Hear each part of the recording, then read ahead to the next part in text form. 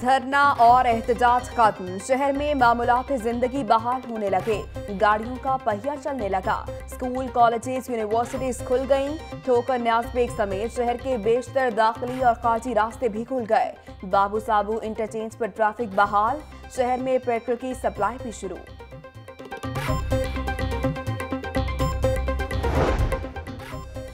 حکومت کے ساتھ مذاکرات کامیاب۔ تحریک لبیک کا دھرنا ختم۔ جہاں جہاں کارکن دھرنا دیے بیٹھے ہیں، پرامن منتشر ہو جائیں۔ گرفتار افراد کے خلاف مقدمات ختم ہو جائیں گے۔ تحریک کے نام پر شرپسندی کرنے والوں کی مذمت کرتے ہیں۔ علامہ قادم حسین رضوی کا کارکنوں سے خطاب۔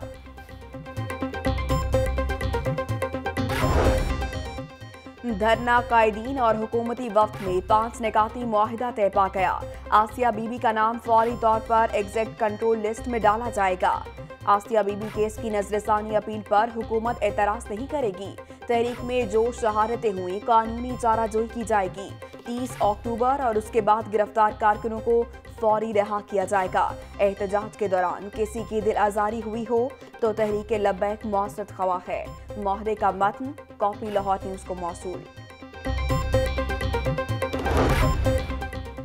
دھرنا قائدین نے اداروں کے خلاف جو باتیں کی انہیں اپنی غلطی کا احساس ہو گیا۔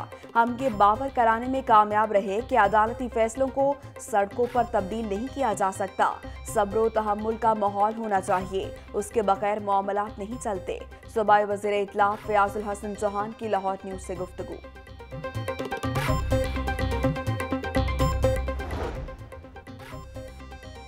امن و امان کی صورتحال کا بہتر کاروبار کا پہیہ بھی چلے گا۔ صدر انجمن تاجران کا آج شہر کے تمام کاروباری مراکز کھولنے کا اعلان۔ Mall Road, Panorama Hall Road, Beadon Road اور عابد مارکیٹ، اسرا بازار، شاہ عالم مارکیٹ سمیت تمام بڑی مارکیٹس کھولیں گی۔ کشمیری بازار، موتی بازار، Azam Cloth Market, Pakistan Cloth Market میں معمول کے مطابق کام ہوگا۔ سرکولر روڈ، اکبری منڈی، مربع مارکیٹ اور کاسمیٹکس مارکیٹس بھی کھلیں گی۔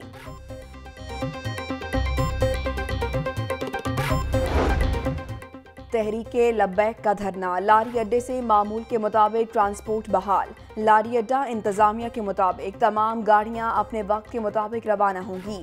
مسافر معمول کے مطابق اپنا سفر کر سکیں گے۔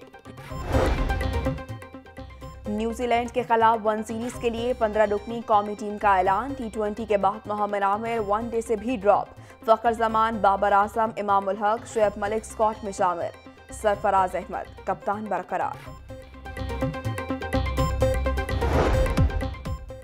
اور ایکسپو سینٹر میں بیسٹیول کے زیر اہتمام سچ کیا کتاب میلہ۔ ڈھائی سو سے زائد سٹالز پر مختلف موضوعات پر مبنی کتب دستیاب۔ صوبائی وزیر میاں اسلم اقبال نے افتتاح کیا۔ بولے کتاب سے دوستی کامیابی کی ضمانت ہے۔ علم شعور آگاہی سے ہی معاشرے میں بہتری لائی جا سکتی ہے۔